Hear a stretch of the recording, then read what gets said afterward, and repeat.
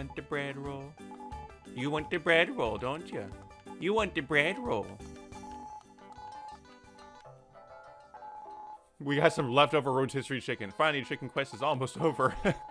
Mrs. Baby's Mogwai will not go hungry tonight, thanks to you. Dip, save the baby Mogwai. March for baby Mogwai. Okay, now we finally have the stupid rotisserie chicken. And we got a cutscene. Horses ahead. Trap horse traps ineffective. Robot anxiety at its peak. Shutting down CP for now. We're... Wait, what? What is... What's going on here?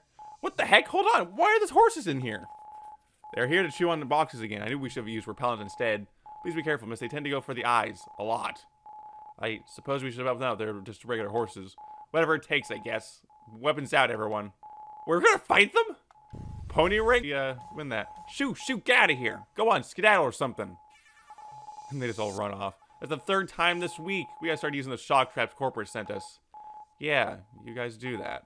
Come on, Eve, it's all taken care of. Let's get out the core piece. Right, we can't keep horsing around like this. what? That's right, we must have what we need. We should pony up and hoof it.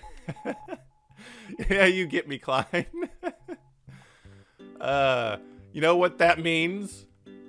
They're punny. Oh, got you on that one.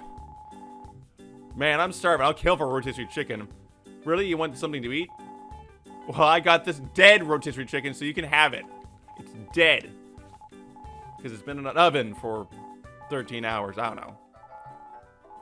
Fountain pen. Oh, we can go back to damn Shep and give this damn pen to the damn Shep.